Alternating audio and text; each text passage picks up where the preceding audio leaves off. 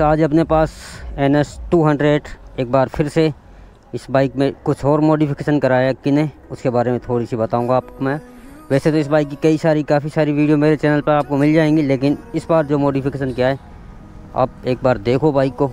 और अगर आप इस बाइक को पहचानते हो तो इस बार इस बाइक के बारे में बताओ, इसमें क्या क्या नए मॉडिफिकेशन किए।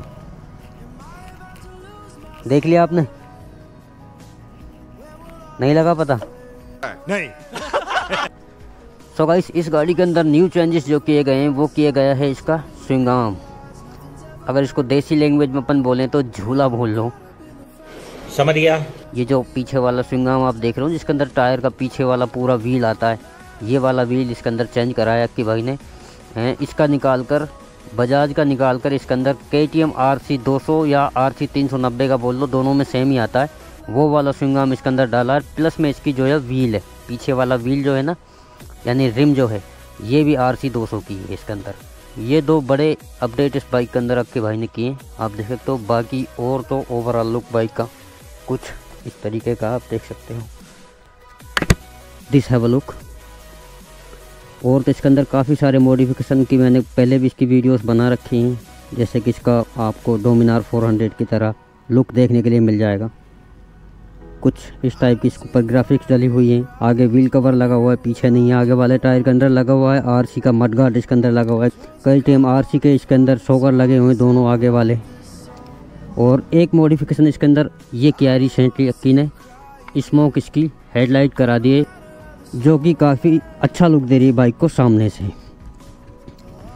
तो ये वाले अपडेट इसके अंदर अक्की ने किए बैक प्रोफ़ाइल अगर आप देखोगे तो पहले इतनी भारी भारी बाइक नहीं दिखती थी नॉर्मल से दिखती थी, लेकिन अब ये चुंगाम जो इसके अंदर डला है ना, ये वाला, और ये व्हील व्हील डला है। तो इससे क्या है, गाड़ी की लुक और मस्कुलर और बेहतरीन हो गई है, बहुत ही ज़बरदस्त, भारी लुक आ रही बाइक की। जल्दी से पहचानने में नहीं आती है कि ये बाइक एनएस है या फिर कोई दूसरी। तो चलिएगा इस छोटी सी इस बाइक की अपन राइड भी लेकर देख लेते हैं कि कैसे, क्या अब चल रही है बाइक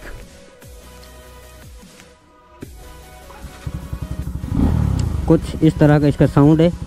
इसका एग्जॉस्ट भी अक्की ने काट रखा है। मैंने आपको बताया भी था पहले।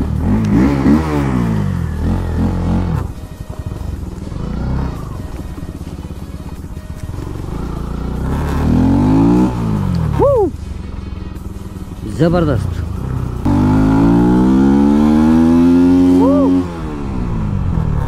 क्या भाग दिए यार बाइक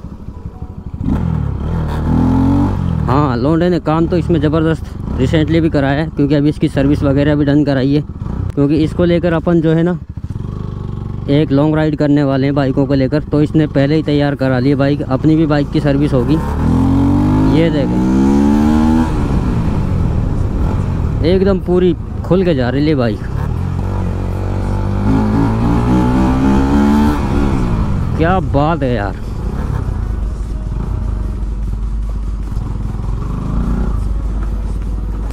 गाड़ी वाले भैया को निकलने देते हैं, फिर चलते हैं। ज़बरदस्त।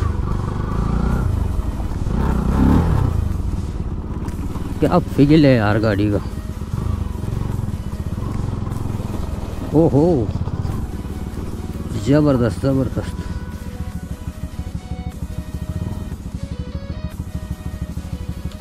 अच्छा इसको चाबी से बंद करना पड़ता है, क्योंकि इसका जो है ना क्विल शिफ्ट इसने लॉक कर रखा है पूरा।